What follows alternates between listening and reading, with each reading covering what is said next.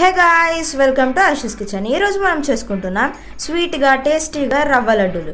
ఎలా చేసుకుంటారో కావాల్సిన పదార్థాలు ఏంటో పదని చూద్దాం ఐషూస్ కిచెన్లో. అన్నిటికన్నా ముందు డ్రై ఫ్రూట్స్ని వేయించుకోవాలి.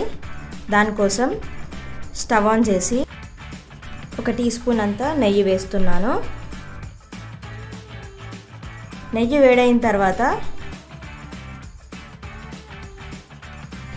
డ్రై ఫ్రూట్స్ని వేసుకుందాం. ఈ వీడియో చూస్తున్న వారికి రెసిపీ ఎలా అనిపించిందో కామెంట్ సెక్షన్లో కామెంట్ చేయండి. కాసేపటి వరకు కలిపిన తర్వాత డ్రై ఫ్రూట్స్ కలర్ చేంజ్ అయిన తర్వాత మనం తీసి పక్కకు పెట్టుకోవాలి.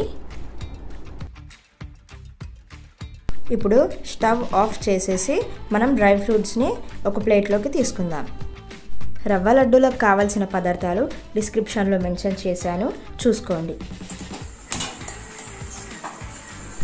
రవ్వ వేయించుకోవడానికి ఒక ప్యాన్ తీసుకొని దాంట్లో రెండు టీ స్పూన్ల నెయ్యి వేస్తున్నాను.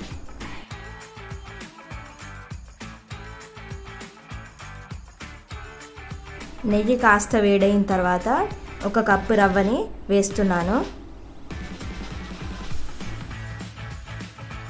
మీడియం ఫ్లేమ్లో పెట్టుకొని రవ్వని వేయించుకోవాలి. రవ్వ కాస్త రంగు మారి మంచి సువాసన వచ్చేంత వరకు కలుపుకుంటున్నాను. ఇప్పుడు రెండు మూడు ఇలాచీలని దంచుకొని ఇలాచీ పొడిని ఒక టీ స్పూన్ అంతా వేసుకుంటున్నాను.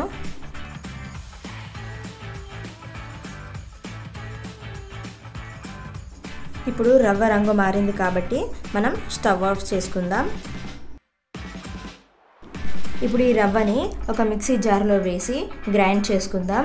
దీంతో పాటు ఒక హాఫ్ కప్పు చక్కెరని కూడా దాంట్లోనే వేసుకొని గ్రైండ్ చేసుకుందాం.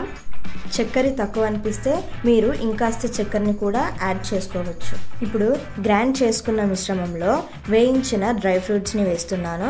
దాంతోపాటు బైండింగ్ కోసం వేడివేడి పాలని పోసుకుంటున్నాను. సరిగ్గా బైండ్ కాకపోతే ఇంకొక స్పూన్ వేడి పాలను కూడా పోసుకొని కలుపుకోవచ్చు. ఇప్పుడు రవ్వలో ఉన్న తేమ ఉండలు చుట్టుకోవడానికి సరిపోతుంది. ఉండలు కట్టే ముందు చేతికి నెయ్యి రాసుకొని ఉండలు కడితే చాలా ఈజీగా ఉంటుంది. మన టేస్టీ రవ్వ లడ్లు రెడీ అయిపోయాయి. వీటిని మీరు మూడు నాలుగు రోజుల వరకు స్టోర్ చేసి ఉంచుకోవచ్చు. ఈ వీడియో కనుక మీకు నచ్చినట్లయితే లైక్ చేయండి షేర్ చేయండి మీ ఫ్రెండ్స్ అండ్ ఫ్యామిలీ మెంబర్స్తో సబ్స్క్రైబ్ చేయండి బెల్ ఐకాన్ని ప్రెస్ చేయండి.